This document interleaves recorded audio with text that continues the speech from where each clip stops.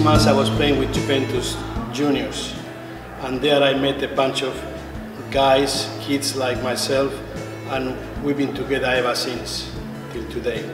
And I'm talking about people that you know, Jerry and Serge, but also Fran Pieramati, Mick Catalano, uh, uh, Tavolaro, lots of them, uh, maybe 50 players, and they're still my friends.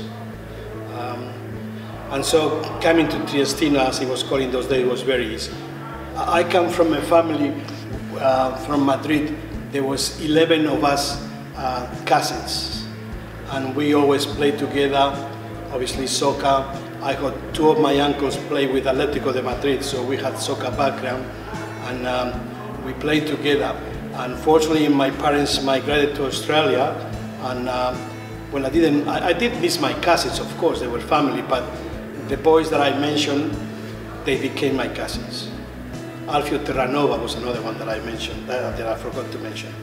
Um, um, and Joe Catalano. Uh, they, they, were my, they were my new cousins.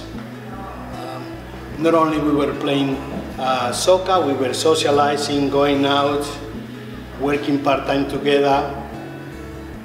It was great. Uh, whether it's Essendon, Triestina, Royals, Brunswick, whatever, Moonee Ponds, um, is part of my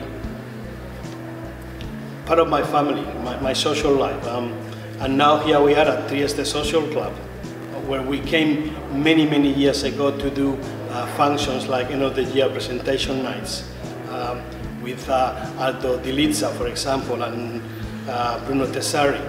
Well, now here we are, and again, uh, it's not just Triestini, but Italian people and Spaniards, we, we mix well, and uh, we even talk kind of uh, the same language.